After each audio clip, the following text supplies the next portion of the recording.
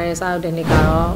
92ခုနဲ့ကျော်သူ special ပြက်ကလေးမှာအသက်ကလေးပေါ့နော်မျက်နှာသစ်ကောင်မလေးဆိုပြီးတော့ပြက်ကလေးခေါ်ရတဲ့ဒီရှေ့ဆုံးမျက်နှာဖုံးလေးမှာပါရတယ်ပေါ့နော်ပြက်ကလေးမှာဟုတ်ကဲ့အဲ့ဒီကနေပြီးတော့မှ63ခုနှစ်မှာကြောင်ညာလေးတွေရိုက်တယ်ပေါ့နောက်ပြီးကြမှာ96 99လောက်မှာရုပ်ရှင်တွေဗီဒီယိုတွေဆက်ရိုက်တယ်ပေါ့အဲ့ဒီကနေစပြီးတော့အခုချိန်ထိပေါ့မခိုင်က ဟိုစပြီးတော့ရိုက်တဲ့အချိန်မှာဆိုလို့ရှိရင်အခုလောက်လည်းမတွက်ဘူးပေါ့နော်။ဘာလို့ဆိုနည်းနည်းလေးခလေးတော့ခလေးပေါ့အောင်ဆိုနည်းရှက်တက်တာတို့ဘာလို့အဲ့လိုကြောက်တက်တာတို့ရှိတယ်။နောက်လူမှုရေးပိုင်းဆိုလည်းရမ်းညံ့တယ်။အဲ့လိုမျိုးဟိုမင်းသားတွေဘာတွေဆိုလို့ရှိရင်လည်းမခေါ်မပြောရတော့ခါခက်တီတီဖြစ်နေတော့ချိန်နေသူဖြစ်နေတာပေါ့နော်။အဲ့အဲ့ဒီကနေပြီးတော့မှတဖြည်းဖြည်းမဖို့ကျွတ်တို့ဘာလို့အဲ့ဒီကနေပြီးတော့အဲ့လိုမျိုးခုချိန်ထိပေါ့ဟိုဘယ်လိုခေါ်မလဲဆိုတော့နည်းနည်း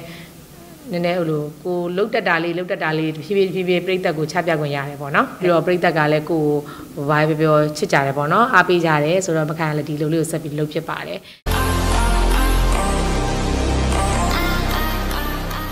ချို့ကြတော့လဲတကယ်ဟုတ်တယ်လို့ချို့ကြတော့လည်းမဟုတ်ဘဲနဲ့ကောလာဟာလာဆိုတော့လည်းပြောခံရတာပါပဲလေဒီလိုပါပဲမခိုင်တောင်မှဟိုဘာပဲငငယ်တော့ဆိုလို့ရှင်ဟိုထမိန်ကျွတ်ကြရဲဆိုနေမဲ့ကြီးတကယ်ထမိန်လည်းမကျွတ်ကြအောင်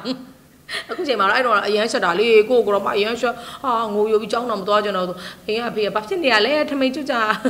ထမိန်ကျွတ်ကြတာလေဟိုဘာလဲနင်တို့လည်းဒီတိုင်းလဲဟိုဘာလဲရေကူးစုံတွေရိုက်နေတာပဲဘာဖြစ်လို့လဲပေါ့နော်ကိုမကျွတ်ကြပြီးတော့ပေါ့အဲ့လိုမျိုးပြောယူပါတယ်ရှက်တာလေငိုပြီးအရန်ရှက်တာအဲ့ဆိုတော့ကောလာဟာလာလည်းဖြစ်တတ်ပါတယ်အားလုံးကလည်းတကယ်တော့လည်းမဟုတ်ပါဘူးကောလာဟာလာလေးတွေနဲ့အဲဒီလိုမျိုးပြောကြရလည်းရှိတာပေါ့နော်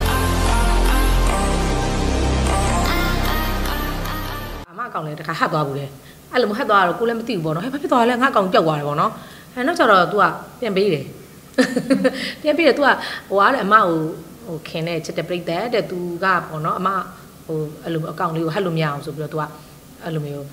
ဘာဆိုလားမသိမြင်ပေးတယ်တဲ့ဟောအေးပေါ့နော်အဲ့နဲ့ပဲကိုလည်းပြန်ရသွားပါတယ်ဒီလိုပါပဲဟိုဒီလိုပဲဆိုတော့ဟိုမခိုင်တို့နေနေကြတော့လဲဟိုအိမ်အောင်တယ်လည်းဖြစ်နေတဲ့ခါကျတော့ဘာမှလည်းအဲ့လိုမျိုးကို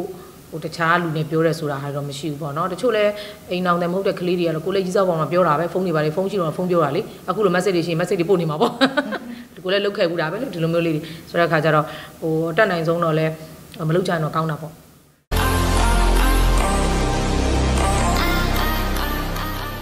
တမီးကကြတော့လေအမှန်တမ်းပြောလို့ရှင်တော့အခုသူ Facebook လေးအကောင့်လေးတော့ဖွင့်ပေးထားတာပေါ့နော်ဒါပေမဲ့လည်းသူ့ကိုအမြဲတမ်းပေးမသုံးသူ့ဖုန်းထဲမှာလည်း အဲဖုန်းထဲမှာလည်းအဲ Facebook သူအကောင့်ကိုမထည့်ပေးထားဘူးအဲသူသုံးနေတယ်ဆိုလို့ရှိရင်ဟိုမခိုင်တို့ဖုန်းတွေထဲမှာသူအကောင့်ထည့်ထားပေးတယ်ပေါ့နော်သူသုံးလို့ရတယ်ပေါ့ Messenger လည်းမသုံးခိုင်းထားဘူးအဲဘာလို့လဲဆိုတော့အခါကျတော့ဟိုဘာမှတော့မဟုတ်ပါဘူးအလကားနေဒီ Messenger တွေနဲ့ဒီစကားတွေပြောဘာတငယ်ချင်းတော့ဒေါ်လကောင်းပေါ့နော်လကားနေအချိန်နေကုန်တာပေါ့နော်မခိုင်ဆိုလို့ရှိရင်အဲ့လိုမနှက်မိုးလင်းဖိရထားပြီဆိုလို့ရှိရင်ဘယ်တော့မှအဲ့ချက်ချင်းလည်းငယ် Facebook ကိုလည်းမဖွင့်ဘူးဖွင့်လိုက်လို့ရှိရင်လေအဲ့မှာဟိုအကြောင်းအရာတစ်ခုက အကွာဟဲအဲ့ဒါငါပြောအောင်ပါပဲဆိုလို့ချင်းအပီဝါအမေးပြီးအဲ့ဒါကိုပြောပြောပြောပြောနေကြည့်တော့ဟဲမလေးချူတင်နောက်ကြပြီအဲ့လိုဖြစ်တယ်လုံးလို့လေအဲ့လိုမျိုးပေါ့အဲ့ဆိုတော့ခါကျခလီးတွေအတွက်ကတော့မလိုဘူးလေသူတို့ကဘာလို့ဆိုတော့ဒီ